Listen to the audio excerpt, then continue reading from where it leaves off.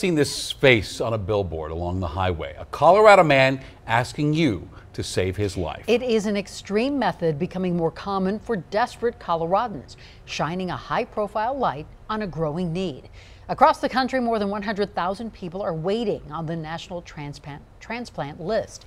Nearly 9 out of 10 of those people are in need of a kidney. Well, Contact Denver 7's Jacqueline Allen found a man who has dedicated his life to helping others, who now needs one person to help him.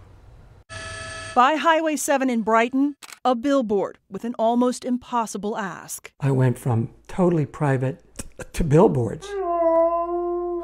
Jeff Blumenfeld never thought he would be a poster child for kidney donation. First, I didn't want anybody to know. I didn't want to be defined by this. What's this? Jeff defined himself as a world traveler with a purpose, volunteering all over the globe, even writing a book on voluntourism while working in communications. I realized that you could see the world and make a difference. Now I'm a, I'm a volunteer who needs a volunteer. In 2009, Jeff was diagnosed with kidney cancer and had one of his kidneys removed. Now his other kidney is failing. And every night, this dialysis machine keeps him alive while he waits for a kidney. And there are 1,100 Coloradans also looking for kidney donors. So there's competition.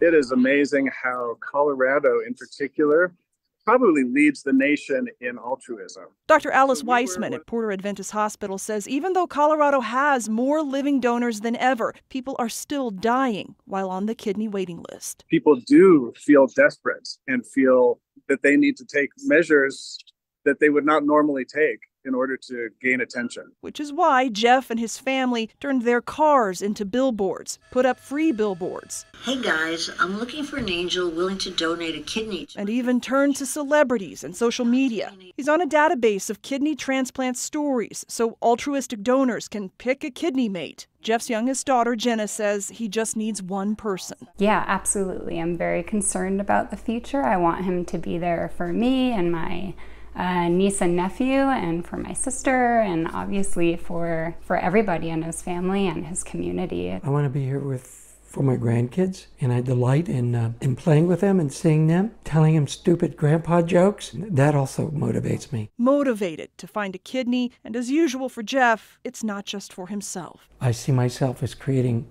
a template and help others. This will become my new mission. What would it mean to you if someone gave you their kidney? Oh my God, it it would it would allow me to get back out there I'm Jacqueline Allen and help other people. for Contact Denver 7. Fingers crossed, Jeff. And I want to add that Lamar donated that billboard space as a public service. And Dr. Wiseman says after screening, kidney donation, it's very safe. You don't even have to be a match to donate a kidney anymore. Uh, pair donations or kidney swaps allow people to donate their kidney in exchange for a compatible kidney for the person they choose.